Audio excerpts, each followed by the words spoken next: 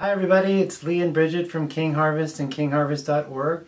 We are here to ask and answer some questions about tremors, seizures, and spasticity. Okay, so the first question is um, How can cannabis help with spasticity and tremors? It helps profoundly. I can tell you from personal experience that uh, within an hour from the point of first ingestion of the correct type of, type of cannabis oil, you'll experience profound relief from that kind of like tension in the body, that kind of rigidity. Um, you know, the nervous system with too much electricity in it, too much rigidity, um, whether uh, it's manifesting itself like RLS or ALS or a, in my case a seizure disorder. Um, in someone with a spectrum disorder, it could be like small spasticity and stimming, right? right? But there's a compulsion, um, whether voluntary or involuntary, in the body um, that's both physical, but it's also in many cases emotional. Right. So if you can calm down the body and calm down the patient or the person, you'll see a break in that feedback loop, like usually within the first hour. Right. Right. Mm-hmm. And in a lot of cases, from the point of first ingestion, those those tremors and those those symptoms are gone for good. Mm-hmm. So we see on a regular basis, uh, from seizure disorders to spasticity problems, tremors, um, big bad seizures and stuff like that, cannabis oil will really help. It'll knock it down.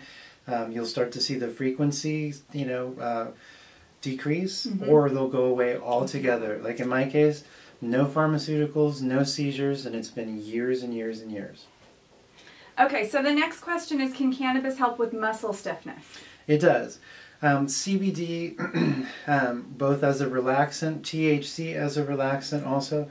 Um, you see with neurological problems like uh, MS or multiple sclerosis, um, you hear of something called the MS hug, which is a which is a rigidity, right? Like, and in um, the case with other autoimmune and neurological problems, ALS, like you know the the toes start to stiffen, the feet stiffen, they start to curl up, the hamstrings, the IT band. So um, THC and CBD, actually all of the 63 chemicals in that molecule, are going to help with a lot of that muscle stiff, stiffness, both as a symptom, but also by stimulating the endocannabinoid system and making it so you're producing your own chemicals and lubricants anyway.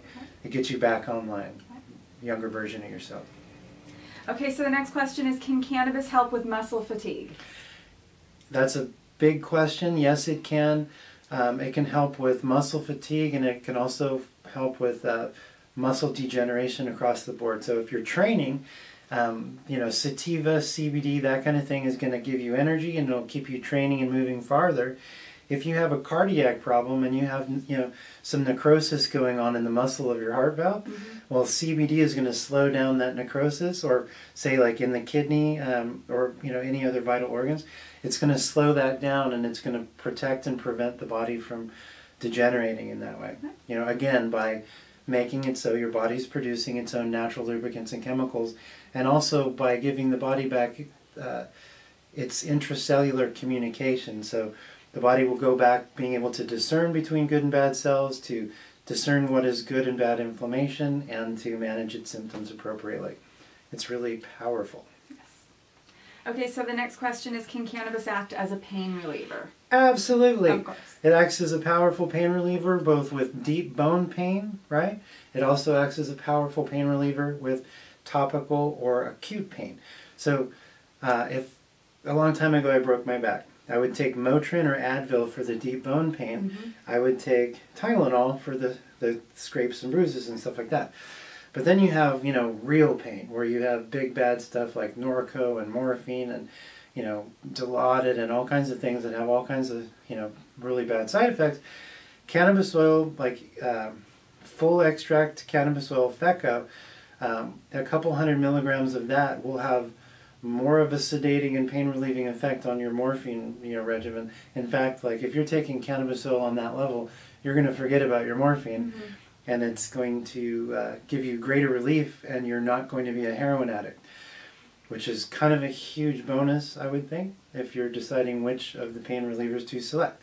So we see people use. Uh, the pain reliever pre-surgery, we see them using it post-surgery, we see them using it pre-injury, post-injury, uh, we see them using it pre, during, and post-training, Mhm. right? And so you know, whether it's topical, oral, um, deep bone, or acute, like cannabis oil is probably the safest pain reliever that you're gonna find out there, Absolutely. and it's the most longest lasting. Especially because the way it manages and relieves pain is is by healing you. So, go figure. Okay, so the last question is Can cannabis help give you strength for physical therapy? Yeah, just like I've been saying over and over again, sativas will give you energy, indicas will make you relaxed. If you're having an anxiety panic attack from your physical therapy, take a little indica. It'll get you through it. If you're really low energy and you don't want to do anything, take some sativa. It'll get you through it. Mm-hmm. Right? It'll get you through your physical therapy because it's going to change and create a better disposition in you. It's going to make you more willing and open to being uh, you know to healing to like the the therapy that you're going through it's gonna you know help you through the roughness. Like my physical therapy is so painful um, and at the same time i know it's good for me and i have to do it. And so if i take uh, actually i take some uplift and i take some king harvest unwind and i take some cbd those three things in combination excuse me those three things in combination before training makes it so um, I feel great. I have lots of energy, and all my inflammation is down. So there really isn't any downside. So yeah, really, really works wonderful. Really good stuff. So thanks again for joining us, everybody. I'm Lee. This is Bridget. We're from King Harvest, kingharvest.org. Give us a call at 877-469-4584. We would love to help you and ask and answer any questions that you might have. Take care. Happy healing. Happy healing. Hi everyone, this is Lee from King Harvest and kingharvest.org. I wanted to take a moment and thank you all for watching. If you like this video, please go ahead and subscribe or click on one of the videos to your right. Further, if you have any questions or comments, go ahead and leave them below. You can also visit us at kingharvest.org. Thank you again and happy healing.